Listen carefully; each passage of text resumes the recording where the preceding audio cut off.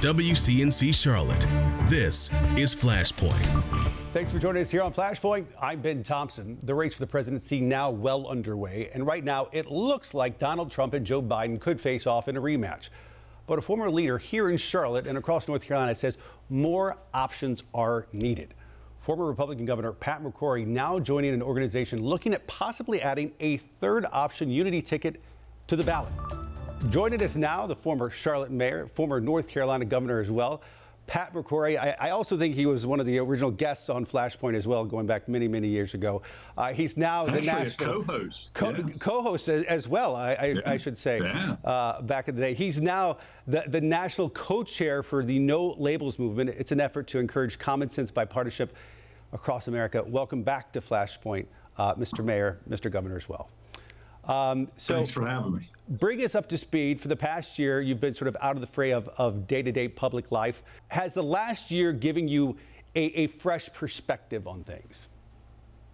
I think January 6th gave me a fresh perspective on this because I'm concerned that we have both left and right anarchists who um, I had to deal with when I was governor with the Charlotte riots in 2016, who would rather have anarchy than civility. And I think the civility has got to return back to politics where we're talking to each other as opposed to talking across each other. And I'm very concerned that our current political structure is not dealing with today's problems and kicking them down the road for the next generation. And the biggest concern, and one of the reasons I joined No Labels, is because 60% of the people of America do not like or do not want to select from the current frontrunners of the Democratic or Republican Party. Um, and we've never had that before in American history, or at least in my lifetime. You know, usually about 40% of the people do not like the leading contenders or the, the selectees of the two major parties. But over 60% of people saying we don't want Trump or Biden is numbers we've never seen before. And I think there's kind of an arrogance among the two parties that we have to select or concur with whoever they select. And I don't think that's right for our nation. So uh, if that those numbers continue after Super Tuesday, we're going to have uh, a no labels ballot on all 50 states, including North Carolina, and have another option for the people of our state and the people of our country. I hope between now and then, however, the two parties will align more with what the American people want regarding a selection of uh, who might happen. And I say that as a Republican, I'm not changing parties, and I think we've got some great candidates. But uh, if Trump and Biden are on the ticket, uh, most people don't want either one of them, and that's not. That means that I think the two parties are losing touch with the American people, and um, that's not good for America. Uh, so, so let's go over how this would work. Um, how with the sort of no labels sort of method is you mentioned after Super Tuesday, um, if it's Trump and Biden, you all would nominate sort of a unity ticket that would have one moderate Democrat, one moderate Republican, and then you would put forward this sort of unity ticket. Um, Well, I would say it's going to be most likely one Republican and one Democrat who will work together and understand that uh, when you have a divided nation, you have to work together. You know, this this term moderate or conservative or liberal, I'm I'm I'm a Republican conservative, but on some issues I've been called a RINO, and other issues the left has called me a, a, right wing extremist. And these labels are being thrown around so much and so recklessly by political parties and the media, with all due respect, that uh, it's not letting us work together when there is division.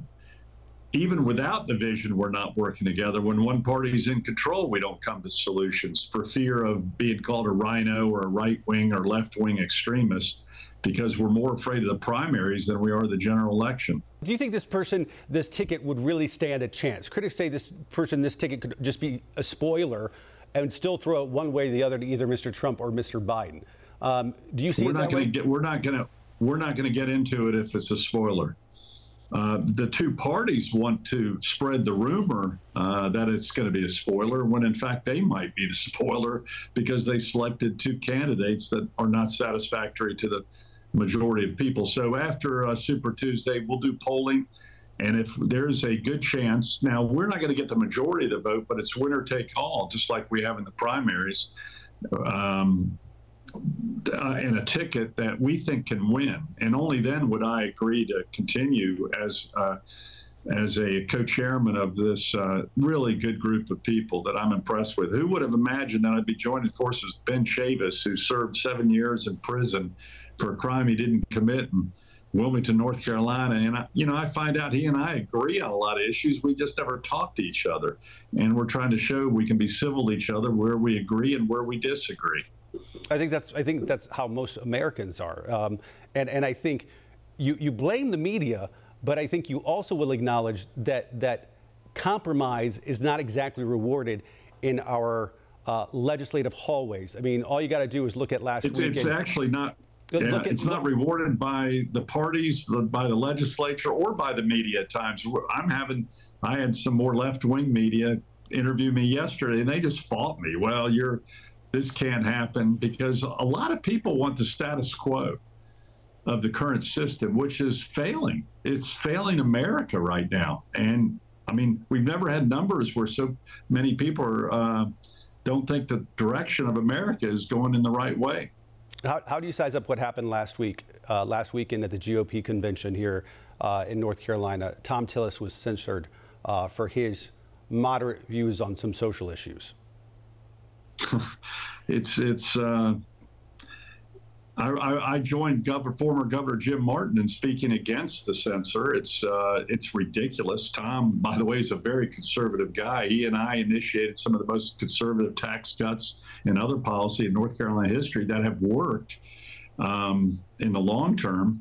And uh, Thom, I think, is doing a good job. I don't agree with Thom and everything, but just because you don't agree with someone, you don't cancel them here here I, I hate I, I so disagree with the cancel culture of the left and here the rights trying to cancel Thom Tillis and they ironically left out all other members of the delegation that that voted with Thom. So I think there's a little more politics behind this regarding possibly the 26th Senate election.